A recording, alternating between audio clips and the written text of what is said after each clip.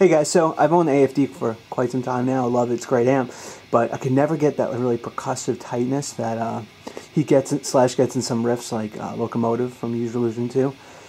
So I just paired it up with the EVH 212, which I only got a couple weeks ago, and uh, sounds really good. Um, so check it out. You know, just notice like the tightness of the notes. Forget about my playing; just a little sloppy today, but just the percussiveness of that of that six string is just really tight. It's awesome. I'm really happy about it. See ya.